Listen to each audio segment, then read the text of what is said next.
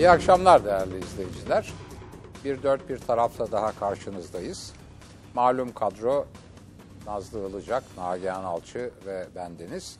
Ee, Altan Öymen bugün mazereti dolayısıyla e, katılamıyor. Yerine çok değerli bir başka genç arkadaşımız Mehmet Tezkan geliyor. Değerli bir gazeteci, değerli bir yazar. Ee, ona hoş geldin diyoruz. Bugün e, muhafazakarlık konusunu konuşalım diye e, az konu tespit ettik. Yani üç konu tespit ettik tartışmak üzere. Ama tabii arkadaşlar hangi başka konuları isterlerse kendilerine geldiğinde söz o konularla ilgili konuşabilirler ve düşüncelerini söyleyebilirler. Bizim saptadığımız genel olarak konular bir Orta Doğu'daki ateşkes, Sayın Başbakan'ın söylemi, işte Mısır'ın rolü vesaire. İki e, büyük şehir belediyeleri yasa tasarısı biliyorsunuz meclisten çıktı Cumhurbaşkanı yolunda ama biraz gecikti. Ve üçüncü olarak da Türkiye muhafazakarlaşıyor mu diye. Çünkü iki büyük araştırma vardı. Bugün bir tane daha yenisi yayınlandı anayasa konusunda yapılan bir araştırma. Oradan da bazı ipuçları çıkıyor. İlginç bir konu. Sosyolojik, kültürel ve tabii siyasal bir konu. Tartışmalarımıza Orta Doğu kriziyle başlayacağız. Biliyorsunuz e, İsrail'le Gazze, Hamas, Filistin ne derseniz deyin arasında bir ateşkes sağlandı. E, bu arada Sayın Başbakan e, bu konuyla ilgili olarak Türkiye'de son derece aktif bir söylem dile getirdi. E, işte İsrail'in savunma hakkı vardır diyenler haksızdır dedi. Biraz Obama'nın söylemine karşı çıktı. Birleşmiş Milletleri eleştirdi. En sonunda da öleceksek adam gibi ölelim diye bir çok tartışmalı, çok üzerinde yorum yapılan bir söylem geliştirdi. Ee, anlaşılıyor ki bu ateşkesin sağlanmasında Mısır e, esas rolü oynamış. E, Clinton da ona teşekkür etti, Obama da teşekkür etti telefon edip. Bu konuyu biraz tartışacağız. E, Nagihan Alçı'yla, Sayın Alçı'yla başlıyoruz. Buyursunlar efendim. Ee, Salı günü burada uzun uzadıya Orta Doğu'da neler oluyor, Gazze krizi nedir vesaire tartışmıştık ve Salı günü demiştik ki saat 9'da ateşkes ilan edilmesi bekleniyordu. Henüz edilmedi. Tabii biz program başladığımızda bundan yarım saat geçmişti. Şimdi çarşamba günü bir ateşkes nihayet ilan edildi. O ilandan sonra bir takım küçük yine e, saldırılar düzenlendi. E, biz bugün itibariyle esasen ateşkesin yürürlüğe girdiğini söyleyebiliriz Gazze'de. E, şimdi ateşkesten sonra şöyle komik bir durum oldu. E, bir yandan hem Hamas lideri Halid Meşal çıktı ve e, İsrail macerasında yenilmiştir e, işte yenilgiye uğramıştır gibi bir açıklama yaptı. Öte yandan e, İsrail Başbakanı Netanyahu çıktı. O da biz işte Hamas'ın çok önemli e, işte silah mühimmatlarını vesaire göçerttik, büyük bir hasar verdik dedi. Yani iki tarafta karşılıklı kendi zaferini ilan etmiş oldu. Ve burada olan 160'tan fazla Gazze'li vatandaşa, masum insanı oldu. Şimdi bu e, ben tekrar burada İsrail'e bu mevcut politikalarla bir terör devleti demek istiyorum ve orantısız bir güçle dünyanın da çok önemli güç odaklarını yanına alarak ısrarla insan hayatına kastetmeye devam ettiğini söylüyor. Bu bakın e, işte konuşmuştuk 2008 sonu 2009 başında en yakın tarihte yine benzer saldırılarla karşı karşıya kalmıştık. E, fareyle aslanın dövüşmesine benzetiyorum ben bunu. Hiçbir vicdana sığacak bir şey değil maalesef. E, şimdi yeni bir ateşkes süreci ama bu sorunu bitirdi mi? Hayır. Aynı şekilde sorun yumağı Gazze'de insanlık dramı, insanlık ayıbı yaşanmaya devam ediyor. Bu ateşkes Mısır'ın garantörlüğünde yapıldı. Bu beklenir bir şeydi, normal bir şey. Bu e, uzlaşmazlıkta, e, bu problem alanında Mısır çok hem konumu gereği hem tarihi gereği e, çok önemli bir aktördür. Ama ben Mısır'ın yanında Türkiye'nin de önemli bir rol oynadığını düşünüyorum. Ahmet Davutoğlu'nun Gazze'ye gidişinin e, bu süreci hızlandırdığını düşünüyorum. E tabii Amerika'dan İsrail'e mavi boncuk dağıtılmasının da önemli bir etken olduğunu düşünüyorum. Nitekim hatırlayalım Obama Netanyahu'ya çağrı yaparken bir yandan da dedi ki işte ben senin savunma sistemine kaynak bulmak için çağrıda bulunacağım. O e, süreci hızlandıracağım dedi. E, ABD'de böyle bir dolaylı şekilde e, İsrail'i durdurarak bu sürece destek vermiş oldu.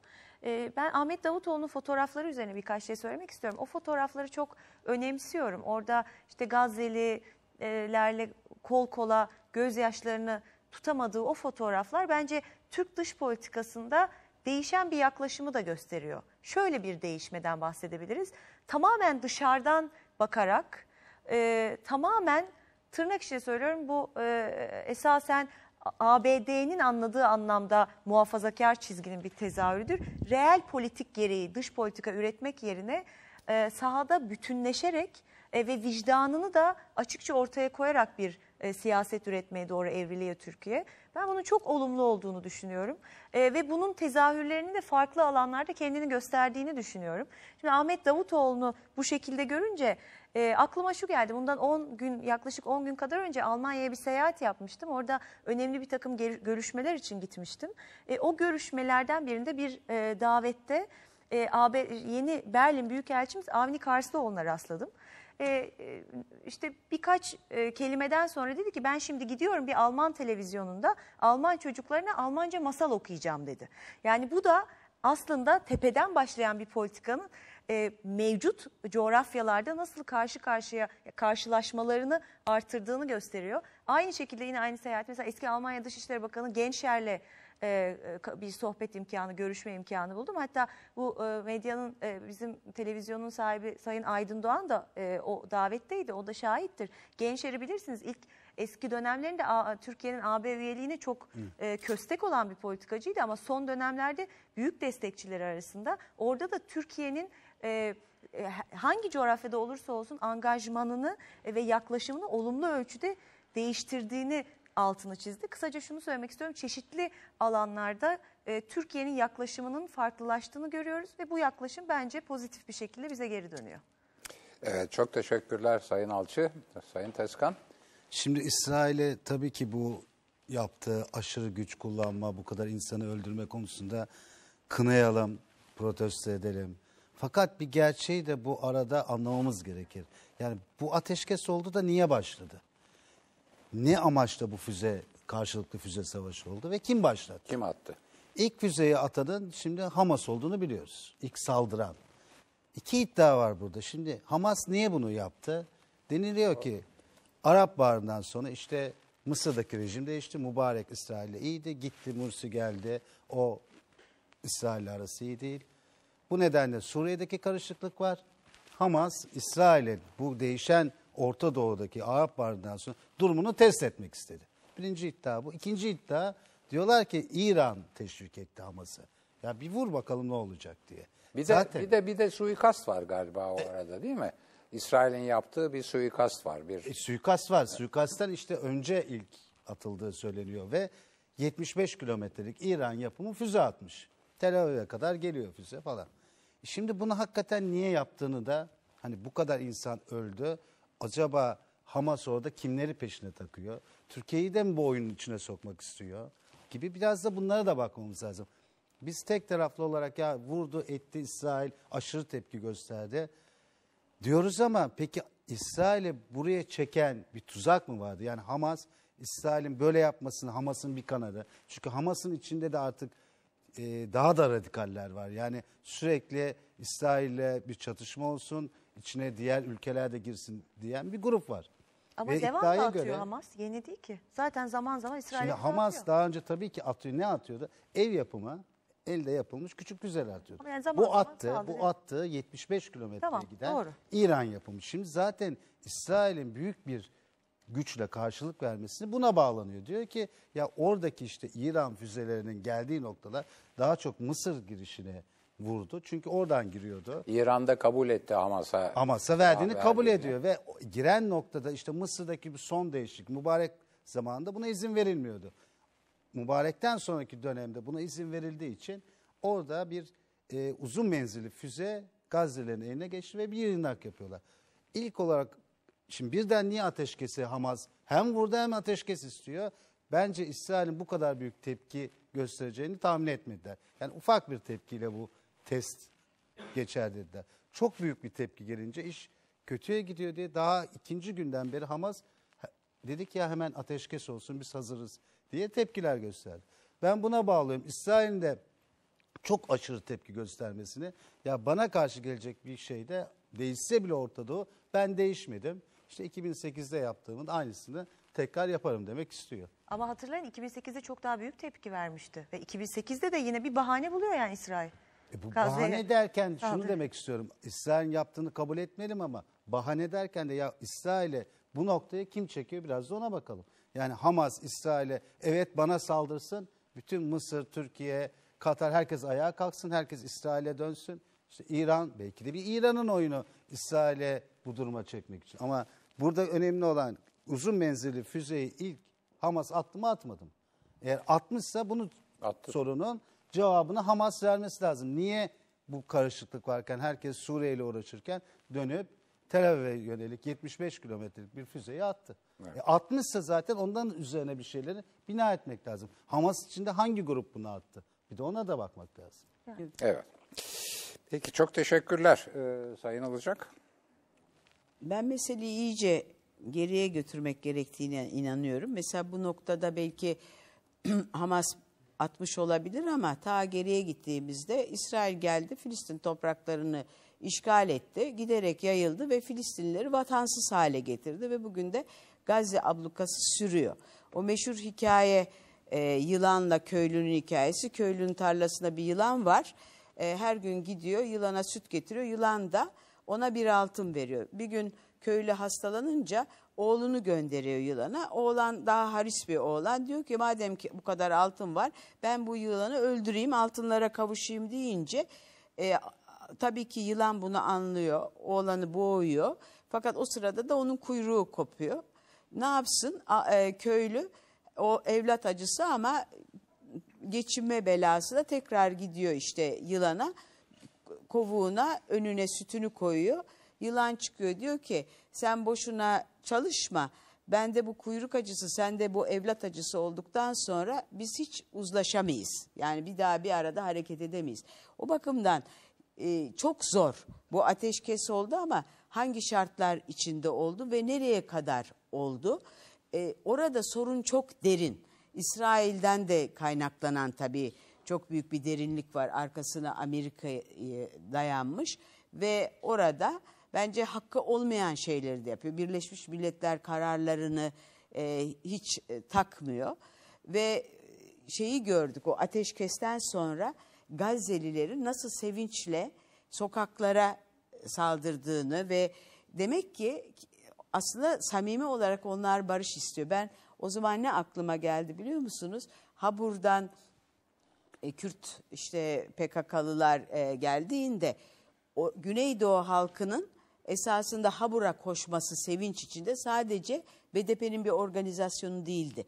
O bir barış talebiydi de aynı zamanda. Yani insanlar artık bu savaştan bezdiler.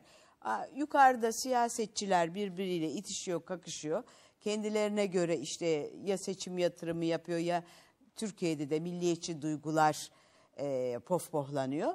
Fakat sonuç itibariyle değil mi bir sürü insan ölüyor. Bir sürü genç ölüyor Türkiye'de. E, çoluk çocuk Gazze'de ölüyor. Tabii İsrail'de de ölüyor. Onlara da acımak lazım. E, bunun e, bir an önce savaşın sona ermesi ama barış adil olmazsa o barışı sürdürmek mümkün olamıyor. Yani Birinci Dünya Savaşı'ndan sonra İkinci Dünya Savaşı'nın gelmesinin sebebi adil bir barış gerçekleşmemesi. Ama tabii hiç a- e- e- eşit bir durum da yok. Bir, bire bin belki. Her ha- tabii ki can İsrail'e kıymetlidir şey, ama burada İsrail'in canı bir yanıyorsa Gazze'lilerin bin yanıyor. Evet. Peki efendim. Şimdi e, tabii e, biz salı günü de bu konuyu tartıştık. E, ben orada iki şeye işaret etmeye çalışmıştım. E, gene onu tekrarlayayım. Bir, bir defa yahut belki en sondan başlamak lazım. Bir, bu ateşkes kalıcı olmaz. O savaş bitmez. İki, e, o her hepimiz o konuda m, fikir birliği halindeydik. Orta Doğu'daki sorun, e, bütün dünyadaki terör olaylarının da e, çekirdeği. Bunu sen de yazmıştın galiba bir defa. Yani bu El-Kaide'sinden tut işte Amerika'ya yapılan saldırılar hep şey bittikten sonra Sovyetler çöktükten sonra bir çıban başı oldu. Şimdi oradaki peki nasıl çözülür bu? Şöyle çözülecek. Birbirinin varlığını kabul eden hem siyasal olarak hem kültürel olarak halpten birbirinin varlığını kabul eden iki tane devlet birlikte yaşayacak. Şimdi sorun nereden kaynaklanıyor? Bu iki devlet e, ve müttefikleri, esas olan biraz da müttefikleri birbirlerinin varlıklarını kabul etmiyorlar. Bir defa İsrail geldi orada tamam bir toprak alındı. Filistinler yerlerinden yurtlarından edildi, göçe zorlandı. Çok felaket bir şey. Bir devlet kuruldu. Bu yüzden e, işte e, Filistin, Hamas özellikle FKÖ değişti biraz. Arkasında İran çok net olarak İsrail'in varlığını kabul etmiyor. Bunu biz diyor haritadan sileceğiz. E, buna karşılık İsrail'in yaptığına bakıyorsun. Kara harekatına girişiyordu az kalsın. Yani Gazze'yi yani son tahlilde biliyorsun şeyler e, analizler son tahlilde İsrail'in Gazze'yi temizleyeceği biçiminde Söyleniyor, evet. söyleniyor. Yani biraz arkasına Amerika'yı alıp. Şimdi bu nereden kaynaklanıyor? Bir iki, iki toplumda da çünkü hayat memat meselesi. İsrailler diyor ki ya biz bırakırsak bunlar bizi haritadan silecek.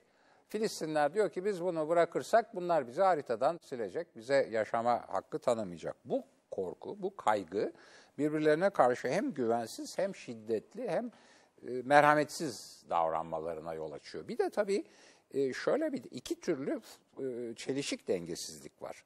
Nüfus olarak İsrail cim ortasında bir nokta, okyanusta bir nokta orada. Arap e, ülkelerini düşünürsen milyonlarca, 100 milyona aşkın, 200 milyona yakın insan. Bunlar da işte e, 5-10 milyon İsrailli. Ama buna karşılık teknoloji ve e, silah açısından İsrail çok ileride bir de arkasında Amerika'nın desteği var. Şimdi bu sıkıntılarla tabii e, iki e, ülke, iki halk e, birbirlerinin varlığını ve bağımsız devletlerini kabul etmedikçe bu mesele bitmeyecek. Şimdi bizim Türkiye'nin rolü burada şey, e, yani Sayın Başbakan çok sert konuşunca hatta ölümle, yani öleceksek işte adam gibi ölelim filan gibi pek de benim çok garipsediğim, pek çok kişinin de garipsediği bir söylem sö- e, kurunca ha, ne oluyoruz filan diye bakıldı. E, pek Türkiye'nin orada çok belirleyici, aktif, nazım efendim bir arabuluculuk veya politika e, belirleyici bir rol yaptığını söylemek mümkün değil.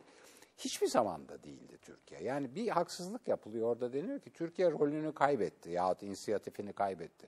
Hiçbir zaman öyle bir inisiyatifi yoktu Türkiye'nin. Hep Mısır'dı. Hep Mısır'dı, gene Mısır oldu. Ama gittikçe o işte One Minute'ten sonra bir değişiklik oldu filan, dünyada bir şeyler oldu. Fakat hele bu son krizde Sayın Başbakan ölmeye kadar giden bir söylem getirdi. Batı'daki yorumlara baktım bugün. Ee, hemen hemen herkes canım bu işte öyle iç politika gereği söylenmiştir, tribünlere söylenmiştir, çok da önemli değildir filan havalarında. O da pek hoş bir şey olmuyor tabii dış politikada. Evet benim de söyleyeceğim bu. Ben bir cümle ilave edebilir miyim? buyurun. Benim dediğim Hamas eğer bu işte bir oyun içerisindeyse bu oyunu ne olduğunu Ankara'nın iyi tahlil etmesi lazım. Birden Hamas'ın peşine takıl, takılıp bir yerlere sürüklenmemesi gerekir. Ben de bu konuda bir şey ilave Tabii, edeyim.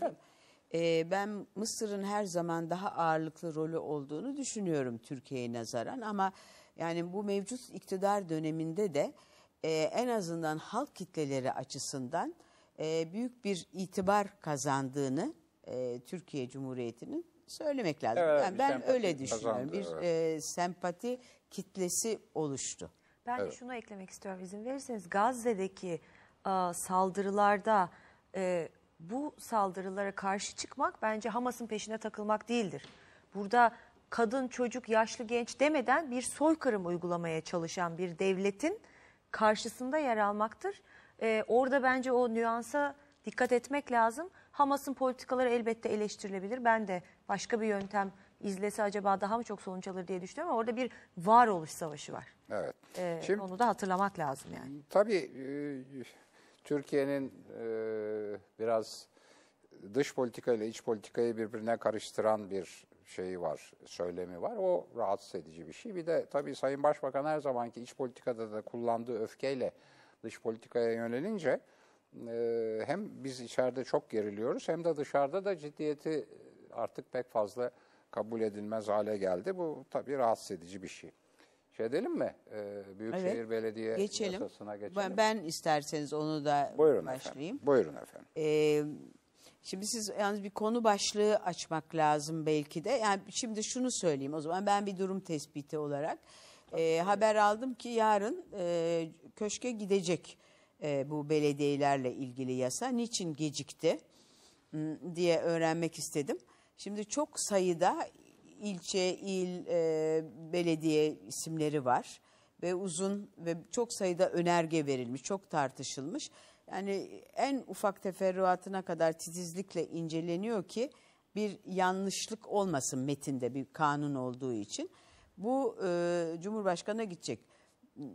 Cumhurbaşkanı Cumhuriyet Halk Partisi, MHP temsilcileriyle ve AK Parti temsilcileriyle de görüştü. Herkesin düşüncesini aldı. Çünkü çok tartışma var. Bir kere MHP şehir devletleri kurulacak büyükşehir yasasıyla diyor.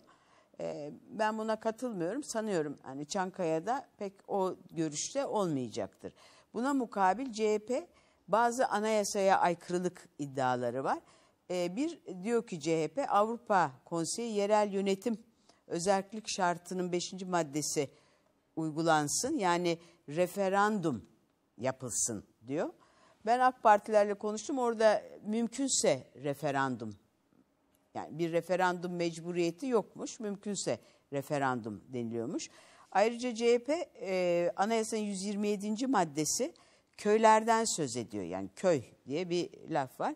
İl özel idarelerinden söz ediyor. Burada köyler kaldırılıyor. Tabii bütün Türkiye'deki köyler kaldırılmıyor ama büyük şehir haline gelen e, yerlerdeki köyler kaldırılıyor. İl özel idareleri de kaldırılıyor. Dolayısıyla bu anayasanın 127. maddesine aykırı olabilir görüşü var. Bu görüşlerinde anlatıyorlar. Buna mukabil e, AK Parti Kocaeli İstanbul örneklerini veriyor. O zaman da Büyükşehir e, Belediyesi il sınırlarına kadar genişletildiğinde tabii ki köyler ve bazı beldeler kaldırılmıştı. O zaman Cumhurbaşkanı hani eski Anayasa Mahkemesi Başkanı Necdet Sezer'di ve Anayasa Mahkemesi de o yapı içinde böyle bir anayasaya aykırılık e, iddiası öne sürülmedi deniliyor. E, ben e, şeye karşıyım. Mesela burada Şişli Belediyesi'nden bazı yerlerin bütün e, köyler kaldırılırken tek tek köylere sorulsun veya bütün beldelere sorulsun. Bu Türkiye'yi bir tuhaf bir e, seçim tartışması içine sokabilir. Ama yani mesela Şişli sınırları içinde bulunan bazı yerler gidip Sarıyer'e bağlanırken veya işte Ankara'da e, bu şekilde bazı yerlerin transferi yapılırken belki oranın halkına sormak daha doğru olabilirdi. Ama bütün bir yasal düzenlemede hani bunu tek tek sormanın e, bir gereği olmayabilir. Çünkü köydeki vatandaşımız ya da beldelerde yaşayan kaldırılan beldeler mahalle haline gelen bu beldelerde yaşayan vatandaşlarımız daha fazla kişi için oy kullanacaklar. Yani hem mesela köydekiler hem ilçe ve hem büyükşehir belediye başkanını seçecekler. Beldede yaşayanlar yani beldeler kalkılıyor mahalle oluyor. Onlar da aynı zamanda eskiden oy kullanmazken bu defa hem ilçe hem de büyükşehir belediyesi için oy kullanacaklar. Bu şekilde daha iyi hizmet alabilecekler ve bunun hesabını sorabilecekler deniliyor. Bu bence de önemli. Bir de birçok belde e, nüfusu çok az, parası yetmiyor ve sadece personele bile yetmiyor ve doğru dürüst hizmet görülemiyor. Ben bunu sadece seçim, oy kazanmak e, gailesiyle yapıldığını düşünmüyorum. Bazı yerlerde söylenebilir. Hani Şişli'ye, Sarıyer'e, bazı yerleri, ilçeleri e, ama ilçeleri diyorum bazı mahalleleri bağlandı Ankara'da. Bunlar söylenebilir. Ama genel bir değerlendirme olarak yani bütün bu büyük şehir yasasının çıkarılmasının gerekçesi daha iyi oy kazanmak olduğunu ben şahsen sanmıyorum. Evet. Daha iyi hizmet gerekçesiyle yapıldığına inanıyorum. E, iddia o tabii. Doğru. Buyur. Birkaç şey ekleyeyim söylediklerinize. Mesela MHP'nin buradaki itirazı işte Van, Diyarbakır, Urfa gibi yerlerde BDP'nin alacağı, PKK'lıların oraya hakim olacağı, oraları yöneteceği şeklinde MHP şiddetle bu nedenden itiraz ediyor. Diyor ki oranın çünkü bu geliri getirilen sistemde belediye başkanı bütün imara falan en ucra köşedeki bile reisen müdahale ediyor. Şimdi buradaki örnek hep veriliyor. Ee, İstanbul Kocaeli örneği doğru bir örnek değil. Çünkü artık İstanbul'un köyü möyü yok. Yani buradan gittiğiniz zaman en son noktaya kadar bir ilçe düzeni var İstanbul'da. Beldeler vardı ya Şile filan gibi onlar Küçük, da bağlandı. Onlar da artık ilçe, ilçe ha. haline geldi. Yani onlar küçük şeyler ama bir baktığınız zaman e, bir Urfa öyle değil. Yani Urfa'nın merkezine en ucrasına nasıl hizmet götürülür, nasıl müdahale edilir o ayrı bir e, tartışma şey. İkincisi hakikaten dediğiniz gibi referandum yapılsaydı işte Şişli yapmaya kalktı gayri resmi bir anket olsun dedi hani insanlar istiyor mu istemiyor mu diye. Son gece polis bastı dedi ki yapamazsın burayı dedi. E bu da biraz iyi olmadı biraz ayıp oldu. Ha şeyin bir iddiası yine diyorlar ki ya Türkiye başkanlık seçimine gidecek yine MHP'nin e, şiddetle itiraz ettiği bu. Cumhurbaşkanına da gidip onu anlatmışlar. Türkiye başkanlık sistemine geçtikten sonra işte başkan buralarda birer başkan olacak. 26 tane e, yerle o kanalıyla tek kişi orada da bir tek kişi bütün kenti yönetecek ve böylece işte eyaletler e, bir yığın eyaletler şehir eyaletleri tepesinde de bir başkan olacak. Hazırlık bu yönde diye MHP'nin itirazı var. O olur mu olmaz mı bilmiyorum ama şeye ben İktidar Partisi'nin komisyona teklifine baktım. Yani hiç onlara da gerek yok. Öyle bir teklif sundular ki yani istedikleri hani Türk modeli başkanlık falan deniyor. Amerika'dakinden bile hani Amerika'dakini eyaletler var şu bu bu derken biz onları da aşmışız. Öyle bir yetkilerle bir başkan istiyorlar ki yani öyle bu İktidar Partisi'nin istediği anayasa değişikliği olursa hiç böyle şeylere gerek yok yani oradan o şehir devletler olsun kurulmasına gerek yok. İşte reisen gidiyor nasıl milletvekiliyle başkan aynı seçimde aynı sandıktan yani yan yana sandık ama seçimden çıkacak. E nasıl olacak? Şimdi başkan adayı kendi milletvekillerini belirleyecek. Seçime girecekler. Bir kişi başkan olacak ama başkanın partisi iktidar olacak. E, milletvekillerini başkan belirleyecek. E o yasama, o yasama başkanın emrinde olmayacak mı? Olacak. Ama başkan hiçbir zaman için yürütme tek kişi olacak. Meclise karşı sorumlu olmayacak. Gen soru falan öyle şeyler. Ama meclisi yok. de zaten kendisi belirlemiş Şimdi- olacak. Şu, şu getirilen de mesela diyor ki başkanla milletvekilleri aynı anda seçilir. Dediğiniz zaman zaten kim seçilirse seçilsin o seçilen kişinin meclis çoğunluğu olacak.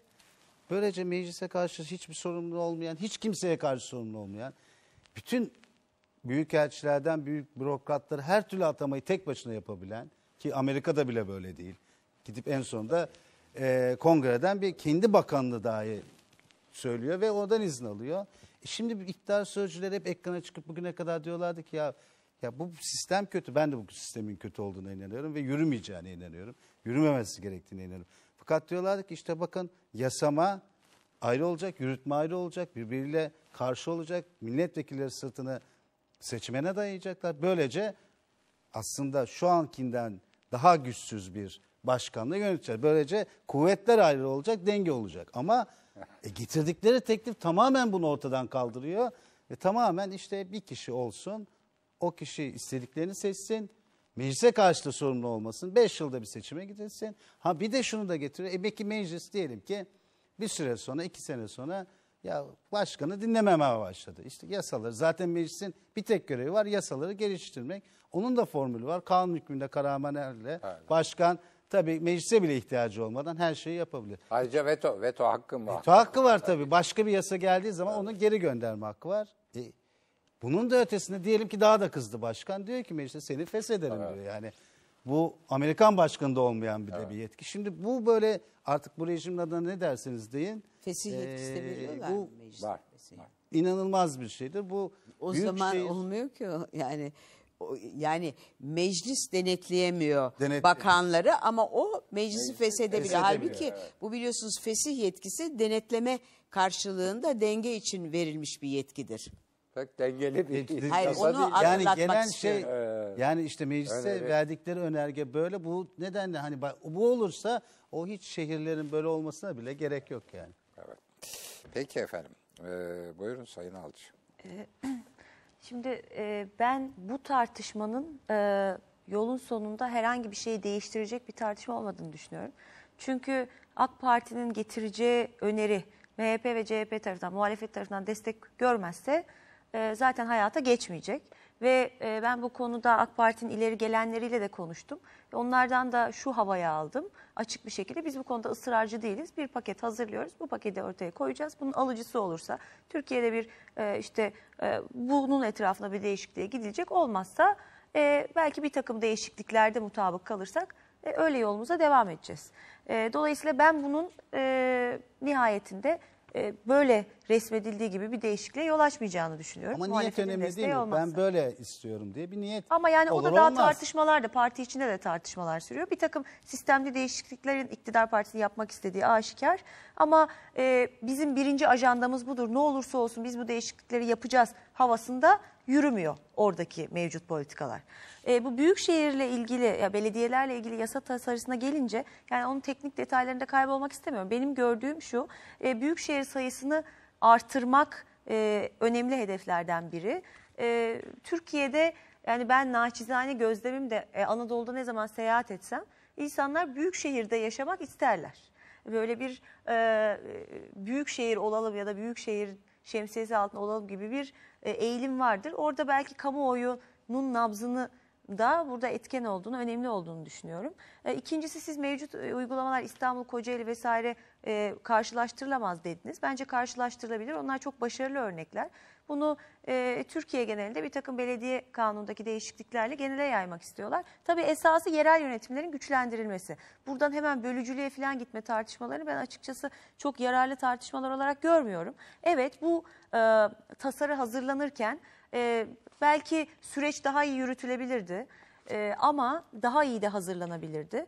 Ama nihayetinde şunu da bence teslim etmek lazım ki o iktidar partisi belediyecilik alanında hakikaten çok e, icraatçı, çok başarılı bir parti.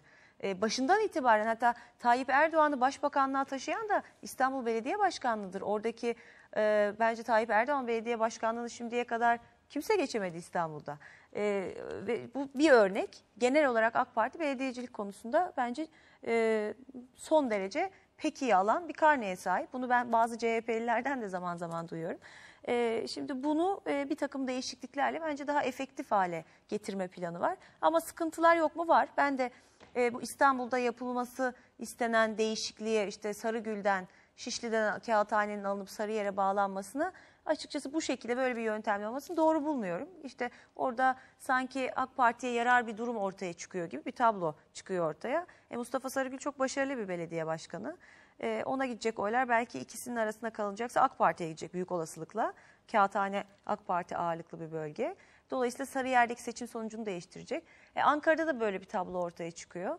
E, bu da e, açıkçası hakikaten e, insanın içine sinmiyor. O orada bence yanlış yapılıyor. Ama ben bunu da sordum. E, yani siz niye böyle bir oy hesabı yapıyorsunuz diye. Orada partiden en azından gelen cevabı söyleyeyim. Ya %44 oy alan bir partiden bahsediliyor. Biz burada 3-5 oyu hesaplayacak değiliz. Orada tamamen bizim e, öngördüğümüz plan çerçevesinde e, haritalara bakıldığında böyle bir değişiklik yapılması daha uygun görülüyor. Onun için bu değişikliğe gittik diyorlar. Ama yine de e, insanın Pek aklında değil yani orada soru işaretleri kalıyor. Ben de onu eleştiriyorum. Ama genel itibariyle e, bu e, değişimin Türkiye'de e, yerel yönetimleri güçlendirerek birçok noktada bakın merkezileşme özellikle merkeze uzak bölgelerde doğuda güneydoğuda birçok sıkıntılara yer açtı, yol açtı. Yerelin kuvvetlendirilmesi orada halkın e, yönetime karşı bakışını da olumlu anlamda değiştirecek e, bir perspektifi beraberinde getirebilir. Şimdi ben bir şey söylemek istiyorum müsaade ederseniz. Başkanlık sistemi hakkında ben konuşmadım. Düşüncelerimi söyleyebilir miyim? Siz söyleyin. Ben de konuşayım. Sonra, Sonra ben daha tekrar yaparken tabii belediye siz- değil de başkanlık e, sistemi Tabii efendim. hakkında Tabii yani bir tur daha. Ben yaparız. Tabii bir tur bir tur daha yaparız efendim. Tamam. Şimdi tabii e, bir defa İstanbul'da çok başarılı hikayesi. Ben bir İstanbullu olarak bugünkü İstanbul'dan hiç memnun değilim. Bunun da sorumlusunun e, başta tabii her türlü iktidar yani hükümet, devlet iktidarı da dahil çünkü onların da payı var. Ama ondan sonra büyükşehir iktidarı, ondan sonra da onların da payı var. İlçe belediyelerindeki bu gece kondu bölge imar ıslah planı yetkisinden dolayı yağmanın İstanbul'u yaşanmaz hale getirdiği kanısındayım ve çok şikayetçiyim. Tek sorumlusu ne Recep Tayyip Erdoğan'dır, ne ondan öncekilerdir, ne de de ondan sonrakilerdir. Çünkü onun üstünde e, Ankara, onun altında da ilçeler var. Bu İstanbul taşı toprağı altın kardeşim. Her iktidara gelen partisiz, partilerden bağımsız ben bizzat gördüm hangi partiden olursa olsun bir yere yetkiyi ele geçirince başlıyor yağmalamaya. Ankara'da da böyle, Büyükşehir'de de böyle, burada da böyle. Onun için öyle o pek ben başarıya e, şey yapmıyorum. Gece konduları Şimdi, hatırlıyorsunuz e, değil mi? Tabii tabii. Şimdi Ankara'daki özellikle. Şimdi şimdi e, bizim yoklar. Mustafa Sönmez oturmuş çok güzel bir şey yapmış, hesap yapmış. 2011 seçimleri sonuçları eğer şey olsa Mustafa Sönmez Cumhuriyet yazarı biliyorsun. E, 2011 seçim sonuçları geçerli olsa bu büyükşehir belediyelerinde neler olacak diye çok ilginç bir sonuç çıkıyor. E, CHP 3 kenti kaybediyor. Antalya, Eskişehir ve Mersin. Tabii bu 2011 hesaplarına göre ben mesela İl Eskişehir'de... Genel Meclisi'ne göre 2011. Evet, evet. Ee, İ- Eskişehir'de ama tabii bu hesap tutar mı tutmaz mı? Çünkü mesela Yılmaz Büyükerşen Eskişehir'de o kadar başarılı ki yani başka partiye oy vermiş olanlar da Yılmaz Büyükerşen'in başkanlığı söz konusu olunca ona oy verebilirler filan veya başka yerel faktörler olabilir. MHP bütün şeyleri kaybediyor. Onun için de belki sadece bu başkanlık seçiminden dolayı değil, yani başkanlık sisteminden dolayı değil. Elindeki bütün zaten onun e, büyük şehir Adana var, onu kaybediyor. Balıkesir ve Manisa onun güçlü olduğu yer, onlar büyük şehir oluyor ama maalesef e, yani onlar da onda kalmıyor. E, bir ili e, AKP kaybediyor. E, kaybetme ihtimali var ama bu hesaba göre kaybediyor Mardin. Hatta biliyorsunuz bizim eski İstanbul valisini başbakan git kazan. Efendim Mardin'i kaybedebiliriz deyince git kazan gel diyor filan. Böyle bir durum. Ayrıca tabii Sarıyer Şişli ve Ankara'da da Yeni Mahalle, Çankaya filan arasındaki şeyler var. O son derece politik bir şey. Bütün bunlara ek olarak iki tane daha sakıncası var. Bir, bu kapatılan belediyeler ilçelere dönüştürüyor işte o belli şeylerle filan. Onların yolladığı temsilci sayısı il meclisinde, e, şey belediye meclisinde sayıları çok artıyor ve e, içerideki e, yoğun nüfusun temsilcileriyle aynı sayıda geldikleri için orada bir başka dengesizlik çıkıyor ve tabii e, çok uzak şeylere bir de il koordinasyon kurulları filan işte yatırım izleme denetleme filan gibi bir garip şeyler kuruluyor özel idareler yerine.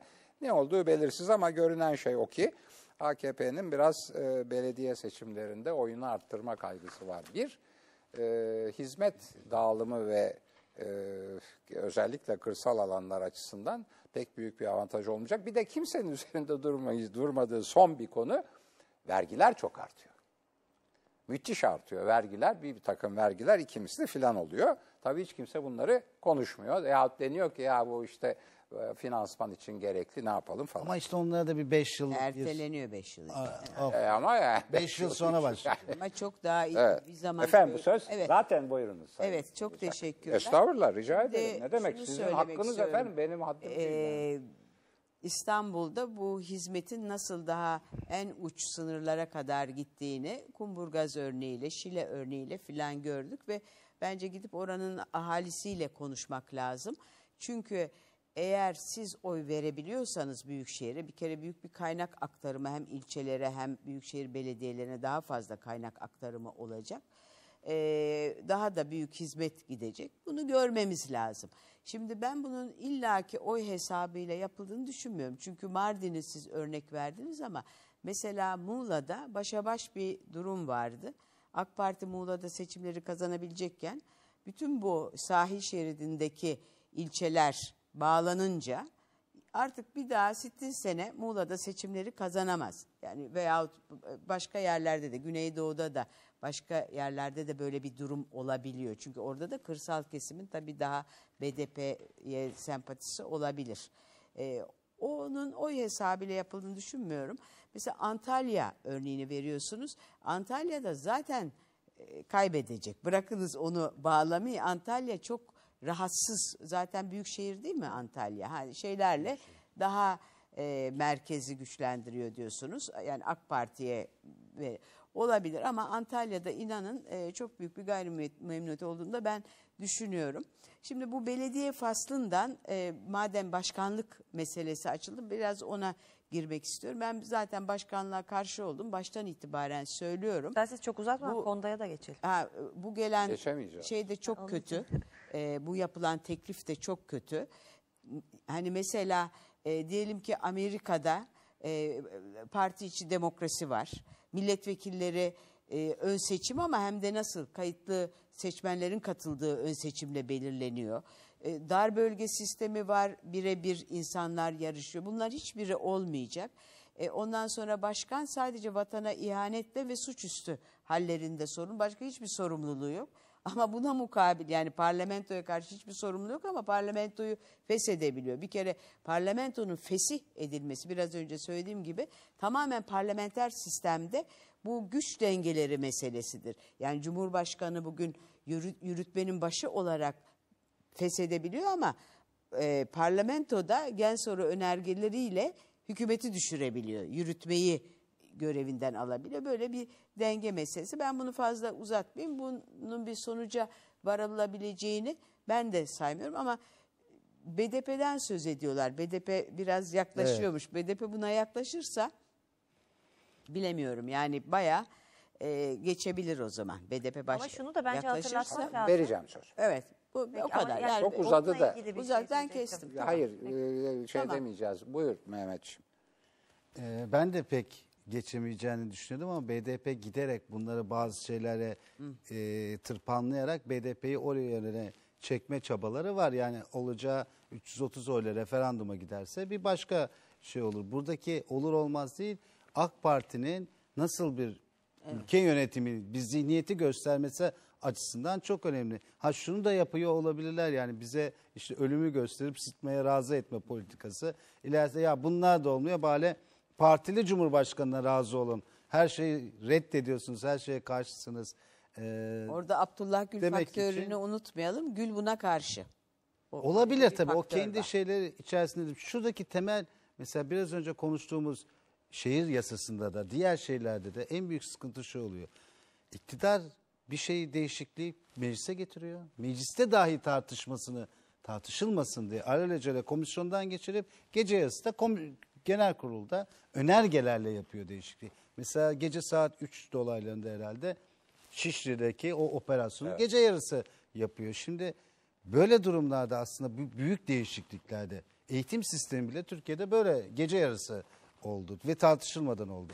Bu büyükşehir yasası daha önce bütün ayrıntılarıyla gelseydi uzmanlar biz uzmanı da değiliz bunun. Yani uzmanlar çıksaydı o değişikliklerin yararları zararları tartışılsaydı bizi başka bir yapıya mı götürüyor götürmüyor mu hizmet mi değil mi diye etraflıca birkaç ay konuşulduktan sonra meclise gelseydi herhalde çok daha herkesin bilgi sahibi olduğu bir şey olurdu. Şimdi meclis bile oturuyor işte Cumhurbaşkanı ne yapacağını bilmiyoruz. O da diyorlar ki zaman kazanması için biraz daha incelesin diye mecliste tutulduğu söyleniyor.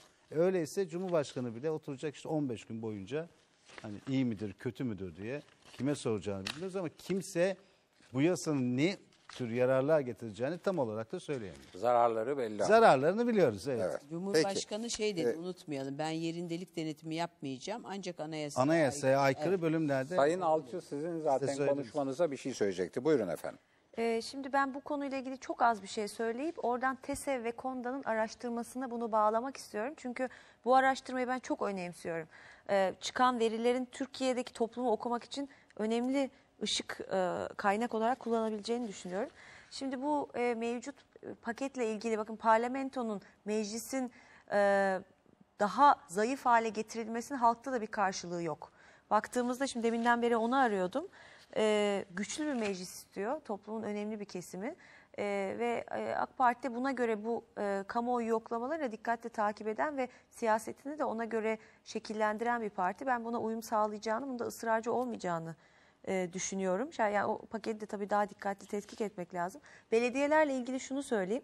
Ne olursa olsun belediye hizmet hizmettir. İdeoloji değildir. Yani yerel seçimlerde hizmet oy verdiriyor. İdeoloji belki bir kere verdiriyor ama ikincide geri adım attırıyor. Ee, şimdi ben hiçbir şekilde e, partisine bakmadan belediye başkanlarının değerlendirilmesi gerektiğini düşünüyorum. Her zaman hakkını teslim ederim. Bence Mustafa Sarıgül çok başarılı bir başkandır. Ee, siz bahsettiniz Eskişehir Belediye Başkanı Sayın Büyükerşen çok çok başarılıdır. İstanbul'da yine CHP'li Ataşehir Belediyesi çok iyi işler yapıyor. Ama bakın Antalya'da Menderes Türel AK Partili müthiş bir belediye başkanıydı. İdeolojik kaygılarla Antalyalılar CHP'li belediye başkanı seçtiler. Bugün ben daha geçen hafta Antalya'daydım. Oradaki sıkıntıları dinledim. Memnun değiller. Siz de söylediniz Antalya kaybedilecek. Diğer illerdeki genel havayı Hesaplar, bilmiyorum pardon, ama hesaplar öyle gösteriyor. yani öyle Bilmiyorum. gösteriyor deniyor. Benim de Yani aldığım bilemem. hava o yöndeydi. Dolayısıyla bu belediyecilik işinde kim hizmeti götürürse, kim iş yaparsa o da oyu alıyor. Birkaç işte zaman zaman istisnalar olsa da ben sizin o tespitinize de katılmıyorum. Tabii ki İstanbul'da bir takım elbette sıkıntılar var ama geçmişte çok daha büyük sıkıntılar vardı. Ee, Nurettin Sözen dönemini çok iyi hatırlıyorum. Ben Yeşilköy'de oturuyordum. Bizim evde kuyu suyu vardı. Ve e, e, terkos suyunun olduğu evlerde de iki günde bir su kesilirdi, elektrik kesilirdi. Yollar yoktu, trafik berbattı, hava pisti, Haliç kokardı. Yapmayın. Ankara'da girerken kilometrelerce gece konduları izlerdiniz. Bugün e, beğenin beğenmeyin o gece, gece konduların neredeyse tamamı kalktı. Küçük bir bölgede var. Onun dışında e, binalar var en azından temeli olan, tapusu olan vesaire. O yüzden yapılacak çok şey var ama çok bence olumlu gelişmeler de oldu. Ee, e, oradan birazcık e, bu Konda ve TES'e ve vaktim varsa girmek istiyorum. Hayır, bir- orada şöyle bir şey var. Ee, çok teşekkür ederim. Bittiyse bu konuda ben de bir şey söylemek istiyorum. Peki o zaman yeni bir konu- başlık Ondan açalım. sonra muhafaza Tamam, hayır, ben bu yerel seçimlerle Ama- ilgili hayır, ondan sonra bulguları şeye vermek istiyorum. geçeceğiz. Ee, muhafazakarlığa. Hayır, ondan muhafazakarlıkla ilgili bir sonra şey geçeceğiz. söylemeyeceğim. Ben bu e, ankette, bu araştırmada yerel yönetimlerle ilgili de sorular Buyurun. yönlendirilmiş. Onunla Buyurun. ilgili birkaç buyurun. bulgu vermek istiyorum. Buyurun, buyurun, Mesela şu sorulmuş. buyurun. Ben muhafazakarlık konuşuyorum. Hayır hayır onu Buyurun. ayrı başlık altında Buyurun, tartışacağız. buyurun. Ee, yalnızca aşağı yukarı Türkiye tablosunu çok güzel yansıtan bir araştırma olarak gördüm ben bunu. Birebir e, uyuyor gibi görünüyor. Şimdi kamu hizmetleri mümkün olduğunca halkın seçtiği yerel kurumlarca yürütülmelidir. Ee, yani yerel yönetimler güçlendirilmelidir. Ama e, konu şeye gidiyor, değerlere Ee, gidiyor. Sorusuna Alçı. %75 doğru buluyorum diyor. Ee, Sorun gene değerlere gidiyor. İsterseniz bu Büyükşehir Belediye Evet, onu da- yasasını bitirelim sonra rahat rahat Peki ama yine yerel yönetimlerin güçlendirilmesiyle ilgili yüzde 40'tan fazla destek e, sorunun cevabına da verilmiş. Dolayısıyla orada e, hani ben Evet bir iddiaya göre ama toplumda bu- da bunun e, karşılık bulduğunu düşünüyorum. Evet. Mevcut e, şimdi geçmesi planlanan. Tamam ama işte o bir başka tartışma. Çünkü bir iddiaya göre ki ben mesela öyle düşünüyorum. diyorlar. Güçlendirmiyor, yok ediyor. Yani aynı sizin bu verdiğiniz şeyi, e, bulguyu ben halk bu büyükşehir belediye yasaları, belediyeleri yasasına karşı çünkü 1500 bilmem 18 mi 38 mi ne belediyeyi yok ediyor. Dolayısıyla bu yanlıştır diye yorumlayabilirim. Onu birazdan belediyeleri birazdan birazdan isterseniz Peki, e, bölgesel merkezler tartışmaya- halinde. Birazdan tartışmaya başlayalım. benim ben de bu değil. Büyükşehir Belediye Yasası konusunda e, şunu söylemek istiyorum. Tabii Türkiye yerinde durmuyor. Yani e, Sözen'in dönemi 20 yıl önceki dönem. Yani ondan önce Dalan vardı e, filan. Yani Türkiye'de gelişiyor, İstanbul'da gelişiyor. Ama şu anda İstanbul nefes de alamıyor, yürüyemiyor da, hareket de edemiyor. Bunun sorumlusu da e, gelmiş geçmiş bütün büyükşehir, büyükşehir, şehir, ilçe ve e, iktidarlar, başbakanlar, e, imar bakanları, şimdiki TOKİ'ler filan. E, bu bir gerçek. Yani herhalde bizi izleyen milyonlarca izleyici İstanbul'da oturuyorlarsa ne kadar haklı olduğumu e, görüyorlardı. Birincisi o. İkincisi e, demin Mustafa Sönmez'in okuduğum hesapları hesap. Evdeki hesap. Şimdi bu çarşıya uyacak mı? Yani Antalya'da e, e, belli huzursuzlukların olduğunu söylüyor Sayın Alçı'yla Sayın Ilıcak. Doğru ve gerçekçi gözlemler mi? Ben Eskişehir'de e, Yılmaz Büyüker'in olağanüstü, mucizevi, başarılı bir başkan olduğunu söylüyorum. Doğru mu? Bu görülüyor mu? Etkileyecek mi? Bunları bilmiyoruz. AKP'nin hesapları e, çarşıya yani oy sandığına uyacak mı bilmiyoruz.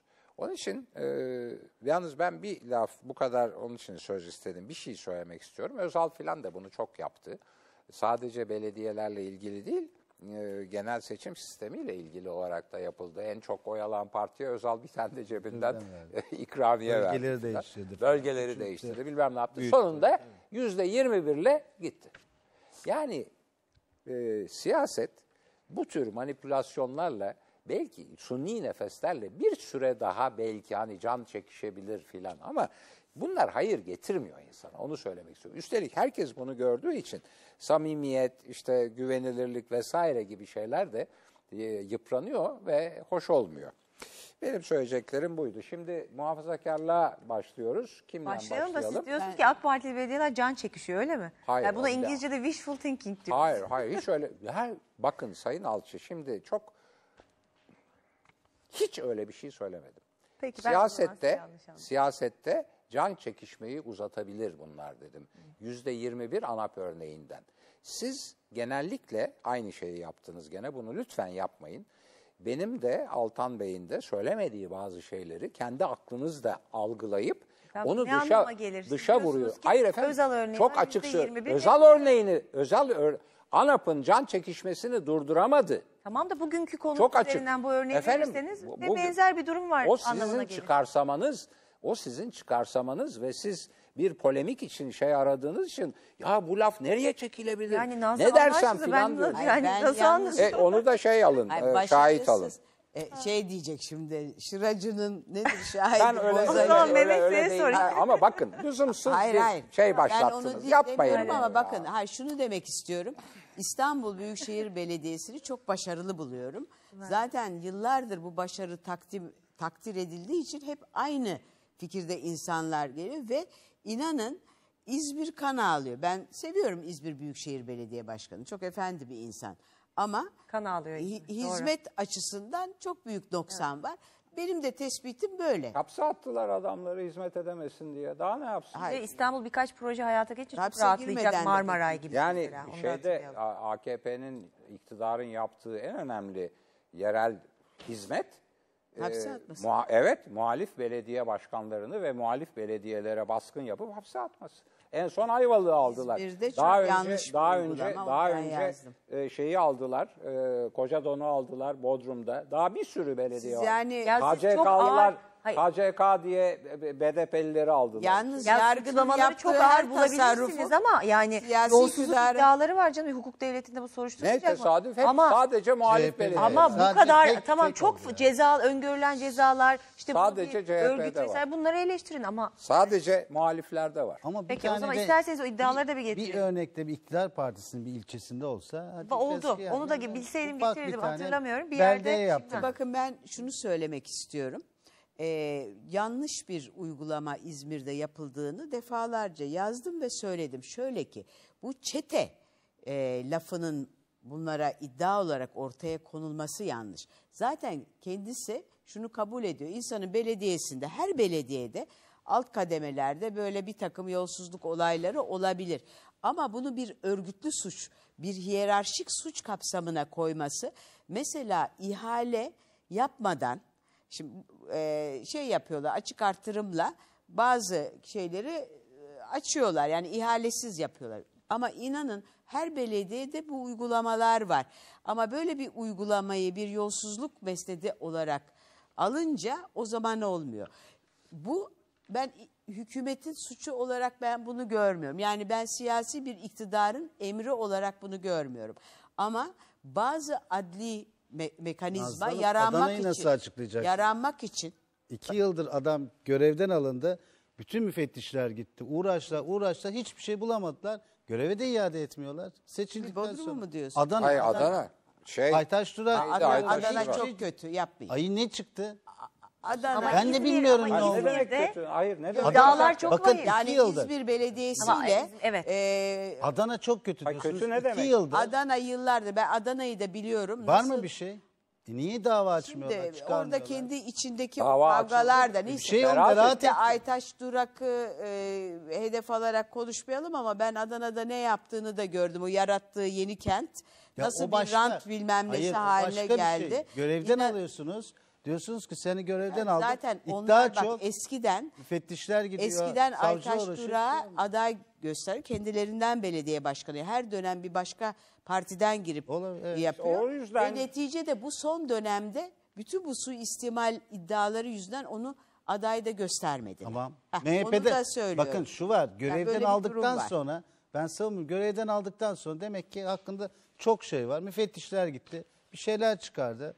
Dava edilirdi. Biz de anladık ya hükümet bu ben- nedenden aldı. Ben onun orada yani İzmir Belediye Başkanı'yla bir mukayese edemem. Benim Efendim? kendi şahsımda, gönlümde ve vicdanımda çok farklı bir durum olarak Efendim görüyorum. belediye hizmetlerini değerlendiriyor olsanız Hizmetleri doğru da. Hayır doğru da bir yasal süreçte suçlamak doğru değil. Sayın Yani onun Ilıca. kendi bel- şeysinden adamlar Beraat bunu etti, suçladılar. Beraat etti adam. O adam Ama bere- Beraat etti ya yapmayın. İçişleri Yani- Bakanı görevden alıyor bir daha da Neyse vermiyor. efendim Başka şimdi e, maalesef bu bölümde e, şeye mi? geçemiyoruz. E, muhafazakarlık tartışmasına. Değerli izleyiciler ikinci bölümde muhafazakarlık tartışmasına geçeceğiz ama e, gördüğünüz gibi hem e, üslubuna uygun biraz bir ara böyle söylenmedik laflar söylenmiş gibi söylendi filan ama gene de gene de tartışma e, edebiyle Ya, ve yani şeyiyle mantığıyla biraz e, anlamlı bir biçimde sürdü. Biraz laflara Sayenizde girildi. beyefendi. Estağfurullah. Estağfurullah iyi oldu. Temennilerle, onun iyi için dileklerle. ikinci bölümde bizden ayrılmamanızı rica ederiz efendim.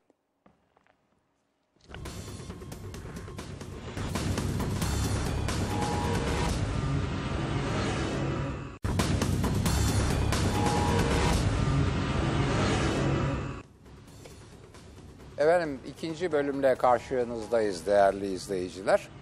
Bu bölümde Türkiye muhafazakarlaşıyor mu, dindarlaşıyor mu, muhafazakarlık nedir, dindarlık nedir? Bunlar beraber mi gidiyor, ayrı mı gidiyor? AKP'nin buradaki rolü nedir, 2002'den bu yana nasıl bir eğilim gösteriyor gibi konuları tartışacağız. Buyurunuz efendim. Ee, ben TESE ve KONDA'nın birlikte yürüttüğü bu çalışma üzerinden bir takım saptamalar yapmak istiyorum. En son çıkan araştırma bu ve e, bu veriler e, bence birçok meseleye de e, ışık tutabilir. Şimdi nasıl bir anayasa isteniyor sorusuna e, cevap mahiyetinde bu araştırma hazırlanmış ama ben bunu aslında Türkiye toplumu belli kilit konularda ne düşünüyor? Toplumun nabzını tutmak açısından e, okumanın daha doğru olduğunu düşünüyorum. Sadece anayasa üzerinden okumak yerine. Şimdi benim önemsediğim birkaç noktayı ilk etapta e, ortaya koymak lazım. E, Birçok soru sorulmuş ama mesela şu soru bence kritik bir soru. E, deniyor ki anayasa Atatürk ilke ve inkılapları ile Atatürk milliyetçiliğine yer vermelidir. E, bu cümleye doğru mudur yanlış mıdır? Buna doğru diyenler ve kesinlikle doğru diyenlerin oranı yüzde 82. 82. Yani anayasada Atatürk ilke ve inkılapları ve Atatürk milliyetçiliği olmalıdır diyor. Bu toplumun yüzde 82'si. Ee, başka bir çarpıcı örnek. Laiklik hakkında aşağıdaki görüşlerden hangisine katılıyorsunuz diye soruyorlar. Anayasada laiklik aynen kalmalıdır ve anayasada laiklik yer almalıdır ancak devlet tüm dinlere aynı mesafede olacak şekilde yeniden tanımlanmalıdır diyenlerin toplam oranı yüzde 92. Şimdi buradan neyi buluyoruz? Ee, anayasada yüzde 80 küsür Atatürkçülük kalsın diyor ki ben bu fikri taraftar değilim. Ben anayasada yeni yapılacak anayasada hiçbir ideolojiye yer verilmemesi gerektiğini düşünüyorum ama anayasayı bir kenara bırakacak olursak toplumun içinde Atatürk'le bir kavga olmadığının çok büyük bir kesimde bir kavga olmadığının işaretini veriyor bu. Laiklik meselesine geldiğimizde de bakın yüzde 92'si laiklik ilkesine bağlı olduğunu beyan ediyorlar burada. Demek ki Türkiye'de laiklikle ilgili bir sorun da yok. E şimdi toplumda karşılığı olmayan bir takım meseleleri biz siyasetçilere ve medyaya baktığımızda bu toplumun önemli meseleleri olarak görme yanılgısına düşüyormuşuz. E, ben burada muhalefetin önemli kendine paylar çıkarması gerektiğini, olmayan bir zemin üzerinden muhalefet yaparak, sözüm özellikle CHP'ye, e, belli bir yere kilitlenip kaldığını düşünüyorum. Türkiye'de demokrasinin gelişmesini istiyorsak muhalefetin gelişmesinin şart olduğunu, iktidar partisinin dengelenmesi için ana muhalefet partisinin e, e, daha e, oy potansiyelini artırarak gitmesi gerektiğini söylüyoruz. Bence buradan CHP önemli dersler çıkarmalı. Başka bir dikkatimi çeken sonuç, bakın yeniden hatırlatıyorum. Anayasada Atatürkçülük olsun %82, laikliği ve bağlı olduğunu e, söyleyenlerin oranı %92 ve aynı topluma şu soru soruluyor. E, deniyor ki öğretmen, hakim gibi tüm kamu çalışanları da içinde olmak üzere örtünmek isteyen örtünebilmelidir. Cümlesini doğru mu buluyorsunuz, yanlış mı buluyorsunuz? Buradan yüzde 75 doğru ve kesinlikle doğru buluyorum diyenlerin oranı. Bakın esasen yıllarca topluma bazı şeyler sanki birbirine tezatmış gibi anlatıldı. Yani biri Atatürkçüyse başörtüsüne karşıdır, laikse başörtüsüne karşı falan gibi. Oysa Türkiye toplumunda görüyoruz ki başörtüsünün kamuda olmasına kadar destekliyor halkın önemli bir kısmı ama bu halk aynı e, çoğunluk ve Atatürkçülüğü anayasada görmek istiyorum diyor. E, dolayısıyla ben bu tabloya baktığımızda siyasetin yer yer hakikaten toplumun çok gerisinde kaldığını düşünüyorum. Son maddede de AK Parti'nin kendine dersler çıkarması gerektiğini düşünüyorum. Çünkü 10 yıldır iktidarda hadi askeri vesayet egemendi diyelim son 3-4 yıla kadar ama başörtüsü meselesini üniversitelerde tamam serbestlik sağlandı ama hala kamuda yasak. Mecliste tek bir başörtülü hanım yok. Yani bu konuda çok cesur olunabilir çünkü toplumda böyle bir kavga da yok. Toplumun asla siyasete böyle bir anlamda ayna vazifesi görmediği e, mesele önemli. Bir de vaktim varsa şunu da söyleyeyim. Yok. İşaret Vaktiniz ediyor, sen yok. görmüyorsun. Ha, peki. Yani- bir de tutarsızlıklar var. Bana Tamam, bir daha ama söz gelirse onları da Yani söyleyeceğim. sizin sizi- sizin belirlediğiniz koşullara göre vaktinizi doldurdunuz. ben görmedim işte. Ben koymadım koşulları siz koydunuz. Buyursunlar. Şimdi ben Türkiye'nin giderek muhafazakarlaştığını düşünüyorum. Bu eskiden böyle değil miydi sorusuna. Evet Türkiye biraz muhafazakar bir ülkeydi. Sağ tandanslı bir ülkeydi. Fakat bu giderek özellikle Anadolu'da bir yaşam biçimine, bir kültür haline getirildi. Bu 94 yılından işte Refah Partisi belediyelerle başlayan bir süreçtir. Bu yaşam şekli teşvik edildi. Şimdi geldiğimiz zaman bugünkü 2012 Türkiye'sine iki tane birbirinden zıt iki kültür var. Biz bunu bir tarafına kara kültür diyebiliriz, bir tarafına kıyı kültür diyebiliriz. Ve iki toplumda, ikisi de aynı ülkede, ikisi de aynı tarihi geçmişe sahip ama birbirinden çok zıt bir yaşam biçimleri var ve Türkiye'nin geleceğine ve Türkiye'nin nasıl olmasına taban tabana zıt bakıyorlar. İşte bunun en son en somut örneğini referandumda gördük. Referandumda %80 hayır diyen yerler var. %80 evet diyen yerler var. Anadolu'nun iç kısımlarına gittiğimiz zaman %80 evet olan yerlere bakıyoruz. Hakikaten muhafazakar bir yaşam var. Bu zaten muhafazakar yaşam şöyle algılanmasın. İşte efendim orada içkili yerler yoktu her şey içkili yer, içkili lokanta anlamında değil. Ben kadın erkek ilişkileri, iş yeri ilişkileri, bir, bir, bir yere oturup konuşma veya bir kafede buluşma anlamında da söylüyorum. Oralarda giderek bu biraz yadırganıyor. Kadının burada ne işi var denmeye başlıyor. Ve kadın giderek belli hele akşam saatlerine doğru mutlaka eve çekilmek zorunda kalıyor. Böyle bir yaşam eskiden bazı kentlerde bazı bölgeler böyleydi. Çok mutasip insanlar vardı ama bazı bölgelerde de bir takım ferahlayıcı, ferahlatan bölgeler vardı. Gençler özellikle daha çok oraya giderdi. Şimdi giderek bu iklim öyle bir yayıldı ki kentlerin sınırlarına kadar geldi dayandı ve bir kentte bakıyorsunuz hiçbir alan yok. Yani bir kadınla erkeğin işte 18 üniversite bir de bu her ilde de üstüne üstlük üniversiteler açıldı. Hani üniversitelerle birlikte bir başka şey geleceğine daha da orası daha da muhafazakarlaştı. E gideceği hiçbir alan kalmadı ve ona da izin verilmiyor. E ne isteniyor? Herkes bir başka yere gitsin. Bunu biz İstanbul örneğinde görüyoruz. Mesela İstanbul'da bakıyorsunuz bütün o Ümraniye falan oluk gibi Kadıköy'e akıyor. Çünkü Kadıköy'e geldiği zaman oradaki ilişkilerde rahat ediyor. E kendi mahallesinde böyle bir rahatlık yok ve kendi mahallesinde işin daha şeyi kendi mahallesinde kendi de artık böyle bir yaşam olsun istemiyor. Diyor ki ben bir başka mahalleye gideyim işte orada oturayım gezeyim ilişkilerim olsun sinemaya gideyim tiyatroya gideyim kafelerde oturayım ama benim mahallemde pek böyle Ümraniye'ye yakın şeyler zamanda gittiniz falan mi? olmasın. Mehmet Bey, Gittim, Ümraniye. gittim. Yani orası cazibe merkezi oldu. Dev alışveriş O merkezleri. başka. Başka bir şey söylüyor. Olur Bitti mi? Sayın Kadıköy. E şimdi yani şuna gelmek istiyorum. Bu bizim e, bu şey bu iktidarla birlikte ve yerel yönetimler ben siyasal iktidardan çok yerel iktidarlarla birlikte bu muhafazakarlaşmanın kimine göre insanlar muhafazakarmış gibi yapıyorlar deniyor ama belki öyle yapıyorlardı. Bunun artık giderek kalıcı olduğunu ve bir 10-15 yıl boyunca Türkiye'nin giderek daha da muhafazakarlaşacak bir yapıya geçeceğini düşünüyorum. Peki efendim çok teşekkürler. Sayın Olacak. Ben şöyle görüyorum. Yani bu muhafazakar dediğimiz hatta taassup ol- içinde olan kesim e, birazcık hep ötekileştirilmiş bir yerlere sıkıştırılmaya çalışılmıştı. Her yerlere çıkamıyorlardı ve görünür olamıyorlardı. Yani şimdi daha görünür hale geldiler. İşte bu Anadolu kaplanları, servetler, e, bir takım e, alışveriş merkezleri veya büyük siteler. E, bu belki bu kadar görünür hale gelmeleri dolayısıyla bir muhafazakarlık yayılıyor gibi bir düşünce var.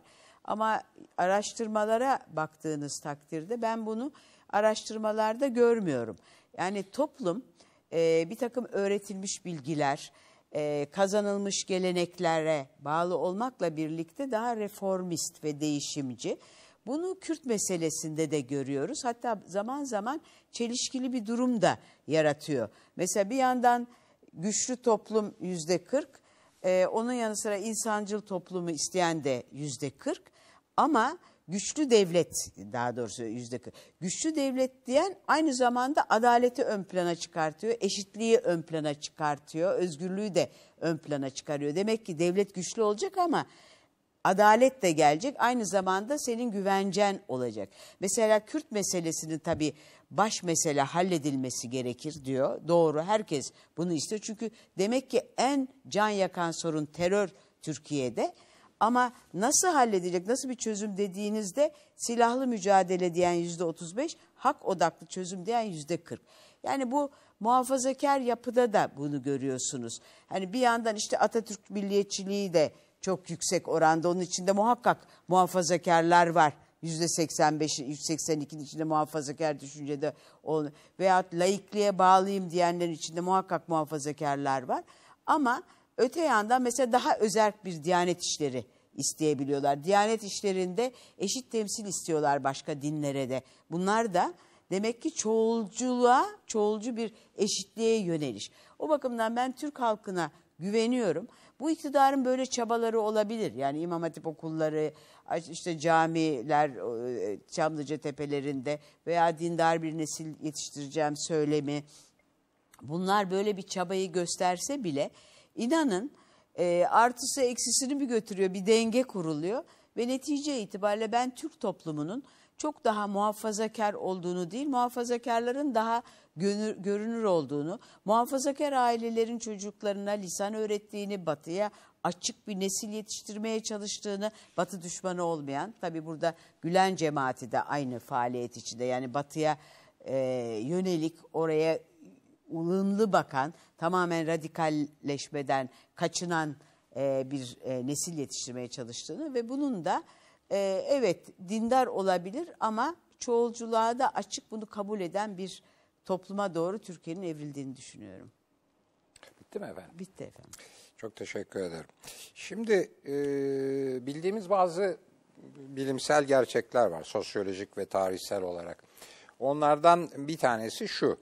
Teknolojik değişme ve ilerleme genellikle muhafazakarlığı e, aşan, muhafazakarlığı e, biraz da e, erozyona uğratan ve değişmeye giden bir güçtür teknoloji. Buna karşılık ideoloji, özellikle egemen ideoloji, egemen olduğu için tarihten gelen e, inançlar, işte e, gelenekler, görenekler filanla daha tutucudur. Hatta değişmenin genel çizgisi bu teknolojiyle ideoloji arasındaki itiş kakışta çıkar. Ee, ve e, bu işte Türkiye'de olduğu gibi bazen Atatürk devrimleri gibi bir ideoloji gelir. E, veya Batı Avrupa'da ve bugün Amerika'da olduğu gibi teknoloji götürücü güç yapar. Birincisi bu. İkincisi e, devletin iki yolla toplumu e, yönlendirdiğini biliyoruz. Muhafazakarlık veya değişimcilik açısından. Birincisi yasalar ve yasaklar, öbürü eğitim.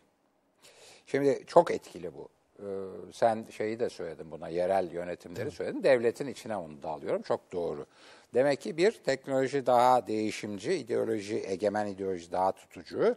İki, e, devlet yasalar ve eğitimle, yasalar ve yasaklar ve eğitimle bu değişime veya e, muhafazakarlığa dönük yapıyı belirliyor. Şimdi nasıl ölçeceğiz bunu? Şimdi bu araştırmalar tabii hepsi çok değerli insanlar yapmış, çok değerli kurumlar. Benim hiç onlara itirazım yok. Fakat şöyle bir konu var orada. Soyut kavramlarla gittiğinizde o ölçümü tam getirmiyor. Çünkü onlar da işte e, ideolojinin her zaman çok tutarlı olmayan taraflarını e, şey diyor, e, temsil ediyor. Yani Atatürkçülük bir yanda, tesettür öbür yanda. Her ikisini de istiyor. Ben hem Atatürkçü olayım hem tesettüre gireyim diye. Halbuki biliyoruz ki o çok ikisi birbirine ters oluyor. E, sen çok güzel bir şey söyledin. Kadının konumu. Şimdi e, muhafazakarlıkla değişimcilik göstergelerinde iki tane önemli şey var. Bir tanesi e, hayat biçimlerinin özgürlüğü. Yani kimse kimsenin hayat biçimine karışmayacak. Mesela Amerika bunu yasayla çözmüş. E, söz özgürlüğüyle çözmüş. Hiçbir şekilde e, sansür yapamıyorsunuz.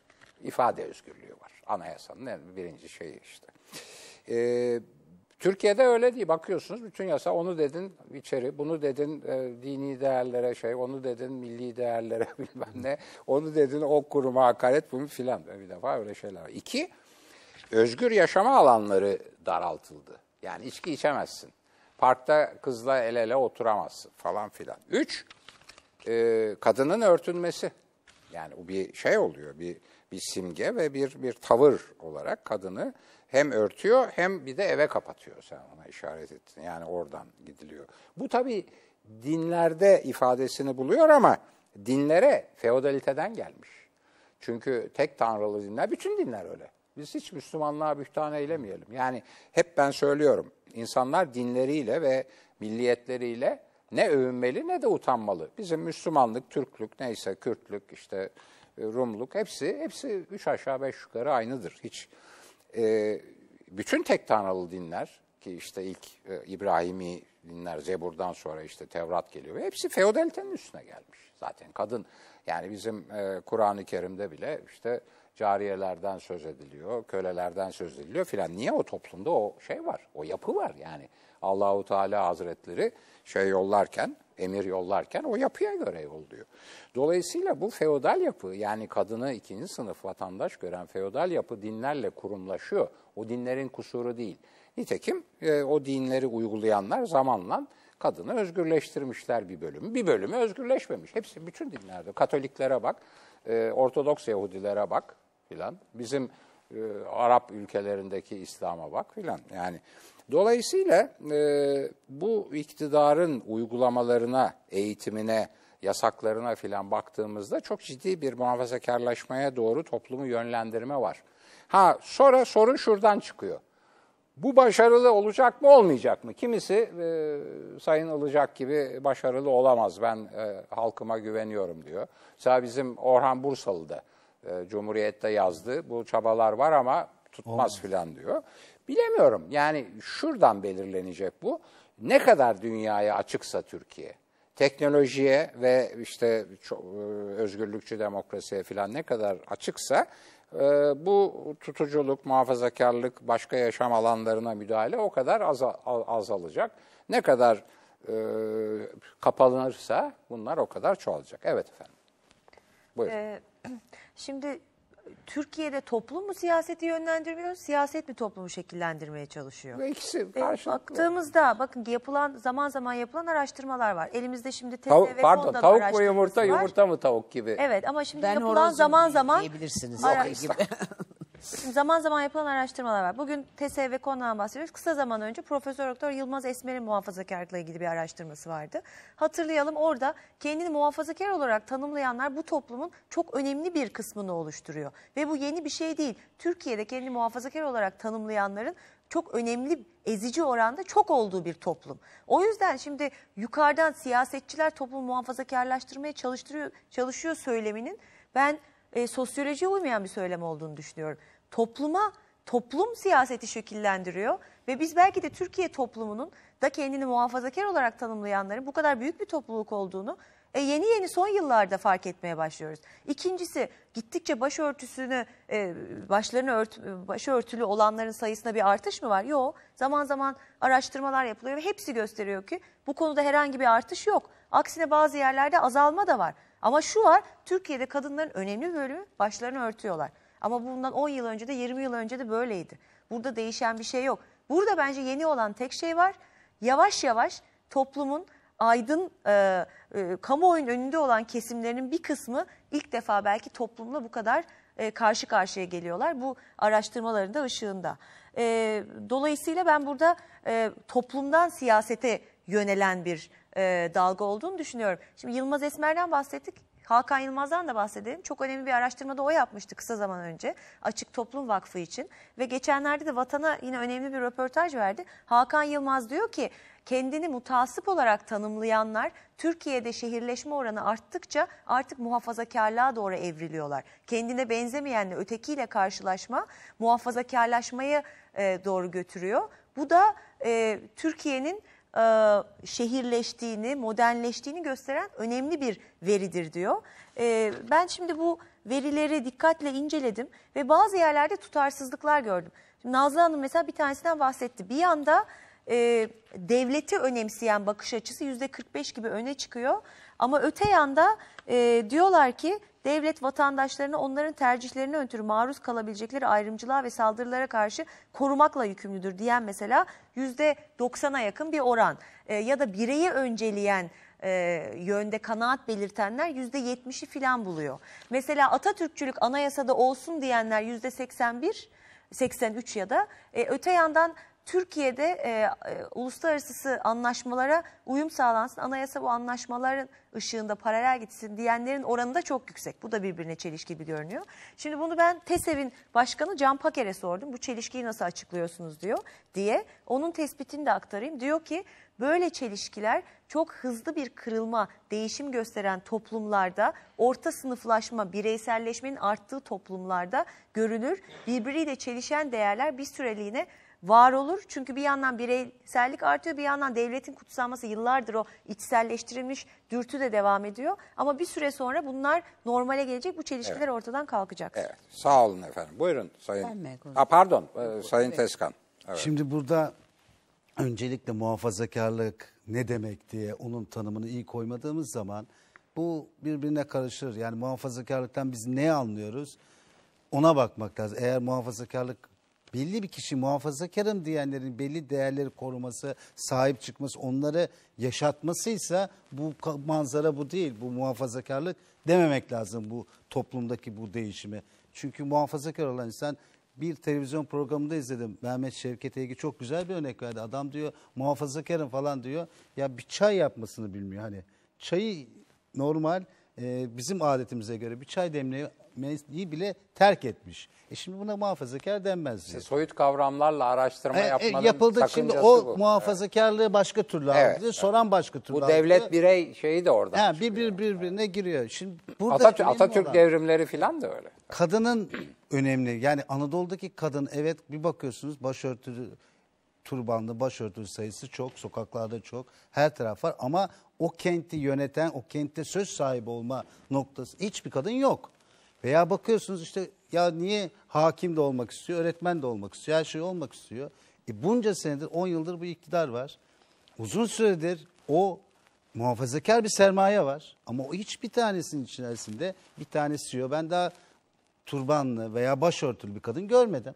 İyi eğitim alıyorlar. Tamam iyi eğitim aldıktan sonra niye gidip herhangi bir şirketin ne bileyim halkla ilişkiler müdürü olmuyorlar? Ve ben mesela hiçbir zaman için gittiğim bir akşam yemeğinde o bir tarafta oturmuş yabancılarla toplantı yapan başörtülü, turbanlı bir kadın da göremiyorum. Niye? E şimdi oraya kadar eğitim iyi, buraya kadar iyi. Oradan sonra e olmuyor şimdi kadın tek başına akşam bir yere gidemez erkeklerle. Toplantı yapamaza geldi geliyor. Mesele kılık kıyafetten çok erkeğin bakışı bu geliyor. Bu bakış topluma egemen olması. Tehlikeli olan bu. Yoksa hakikaten kadın e, başörtü nasıl giyiniyorsa giyinsin. Eğer hayatın içine katılabiliyorsa erkeklerin izni almadan o toplum bence muhafazakar bir toplum değildir. Ona iyicene bakmak lazım. Bir nokta daha var. Oradaki kadınlara da sormak lazım. Ya sen acaba nerede daha özgür hissediyorsun kendini? Mesela Bağcılar'da otururken mi, Beşiktaş'ta yürürken mi sen e, o erkekler arasında türbanına daha rahat ediyorsun diye. Bu sorunun da yanıtını verdiğimiz zaman Türkiye'nin nasıl bir toplum olduğu ortaya çıkacaktır. Bence buna muhafazakarlık dememek başka bir kelime bulmak daha doğru olur diye düşünüyorum. Evet. Çok teşekkürler. Buyurun Ben Sayın şunu Olacak. söylemek istiyorum. 5 dakikayı ikimiz paylaşıyoruz. Biz paylaşacağız. Ee, dur ben de şunu hemen açayım. Evet. Ee, Sıfırladım evet. Ee, şunu söyleyeyim bizim sorunumuz Osmanlı Devleti ile Cumhuriyet arasında kesin bir kopuş varmış gibi mütalaa etmek maalesef yani öyle oldu ve halbuki bir devamlılık var. Her hareket Atatürk'ün gerçekleştirdiği aslında her reformun temeli Osmanlı döneminde atıldı. İsterseniz batılılaşma deyin, modernleşme deyin, okullaşma deyin, kadın hakları mücadelesi deyin. Hepsi yani hatta laiklik anlamında e, yani din temelli hukukun haricinde şeriye mahkemelerinin haricinde oluşturulan mahkemelerden hepsinin temeli o zaman atıldı. Ama sonra nedense bu reformlar vesaire bir kutsallaştırma ve bir tabu dönemi başladı. Bu yanlış oldu. Biz bunun bir devam eden süreç olduğunu içimizde hissedebilsek böyle düşmanlıklar, böyle tabular da doğmayacak. Mesela zaten Atatürk mesela Atatürkçülükte tesettür bir arada olmaz denildi. Ben buna karşıyım. Bal gibi olabilir. Çünkü Atatürk esasında kadınlara bir kıyafet dayatmadı. Bunu onun en yakınları da söylüyor ve zaten bu Hilali Ahmer Cemiyeti'nde yaptığı bir önemli konuşma var. Orada çok fazla açılıp saçılmaya da çok fazla örtünmeye de derken artık o burkavari kıyafetlere karşı olduğunu söylüyor ve diyor ki dinimizin tavsiye ettiği tesettür hem hayata hem fazilete uygundur. Dini örtünme kadınlara zorluk çıkarmayacak, toplum ve çalışma hayatında erkekle ortak çalışma yapmasına mani olmayacak şekilde basit olmalıdır derken kadın başını örtebilir. Onun istediği kadın okusun, ister örtülü ister örtülü kadın çalışsın, erkeklerle omuz omuza çalışsın, beraber olsun. Ama biz ne yapmışız Atatürkçülük adına? Üniversitelerden atmışız kızları. Birçok yerlerde çalışamazsınız diye tabular koymuşuz. Bunlar yanlış. Ben bunun altını çizmek istiyorum. Bir de bu vesileyle bugün e, kadına şiddet bu hafta kınandığı gün hafta yahut e, tabii ki ona hepimiz burada beyefendiler biz de dahil kadına şiddete karşıyız ama maalesef Türkiye'de bu devam ediyor. Programlarda da İkincisi, şiddete karşı. öğretmenler, ikincisi öğretmenler mevzu. Hepimize biliyorsunuz yazıyorlar. Evet, öğretmenler gününü kutluyoruz. Ee, Şubat'ta atama bekliyorlar eş durumundan dolayı öğretmenler. Onu da burada hepimizin bir temennisi olarak e, burada tekrarlamış olayım. Evet, e, öğretmenlerin e, sorunları çok önemli. Atama meseleleri var, maaş meseleleri var, özlük hakları var, tayin meseleleri var. Maalesef e, bir zamanlar Cumhuriyet'in kuruluşunda işte çok büyük görevler kendilerinden beklenen ve tat, oldukça tatmin de edilebilen öğretmenler bugün bir hayli itilip kakılıyor ve çok şikayetçiler. Onların sorunlarına eğilmek lazım. Şimdi e, kadın üzerinden tabii muhafazakarlığı e, ölçmek veya gözlemlemek gerektiğine çok katılıyorum. Sosyolojik olarak da o. E, çünkü e, bu işte gelenek, görenek, din vesaire bütün dünyada böyle. Yani Yahudilerde de böyle, Hristiyanlarda da böyle, Müslümanlarda da böyle şey mezheplere girmiyorum. Şimdi tabii ki başı örtülü bir insan da Atatürkçü olabilir veya Atatürkçü olan bir insan bir kadın başını örtebilir. O e, mümkün bireysel tavırlarda. Ama tavır olarak kadını e, sosyal hayattan, kültürel hayattan, iş hayatından soyutlayan bir erkek egemenliği e, muhafazakarlığın aracıdır. Beni çok üzen bir noktayı da vurgulayayım. Daha doğrusu iki noktayı vurgulayayım. Kadına durum göstergedir dedik, ölçülebilir dedik. Maalesef Türkiye'de kadına şiddet çok arttı. Bunun sebebi şudur budur, siyasal iktidardır, belediyedir, hükümettir, kültürdür, eğitimdir, dışlanmadır, filandır, falandır, erkek e, vahşetidir, her neyse bilmiyorum nedir. Ama kadına şiddet miktar olarak da yani yüzde 1500 filan gibi böyle inanılmaz sayılarda. Acaba şikayetler oranlarda. daha mı belirgin Yo, yo, hale yok geldi? canım. Öldür, düşünüyorum. cinayet sayın e, olacak. Cinayet artıyor. Birisi bu. Beni çok güzel şey. İkinci çok güzel şey maalesef çok değerli kadınlarımıza, annelerimize, kardeşlerimize, eşlerimize yönelik e, erkek egemenliğini taşıyan kültürü maalesef kadınlar aile içinde çocuklara empoze ediyorlar. Aman baban duymasın öldürür. O, o erkektir yapar. Karakola gidiyor. Kocana git, evine git bilmem ne filan. Aman kızsın, çok fazla gülme, konuşma, adın çıkar. Bilmem Ama zaten ne kadınlar taşıyor ataerkil Onun için sistemi. bu maalesef yani kadının e, ikinci sınıf vatandaşlığı analardan da geliyor. Buna da çok üzülüyorum. Değerli izleyiciler, bir e, dört bir tarafı daha solandırmış bulunuyoruz. Salıya görüşmek üzere.